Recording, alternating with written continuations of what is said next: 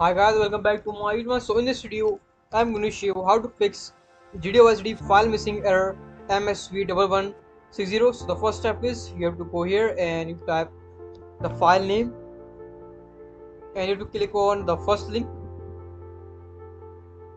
So you have to click on the www.dll slash files.com and click on here. Now after this, you have to click on download and so here it is. You have to download this file. Click on download.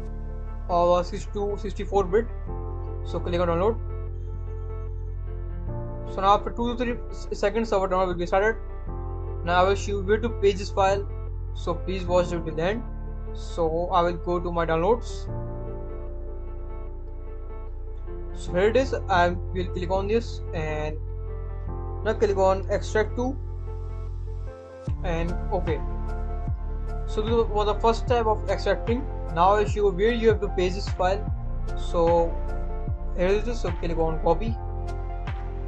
And now to go to the load.exe and click on windows.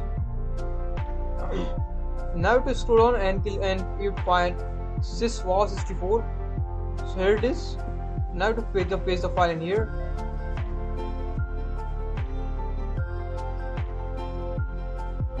So now again you have to click on on C and click on Windows.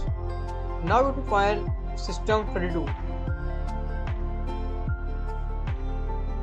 So here it is System32. Now you have to paste the file again here also.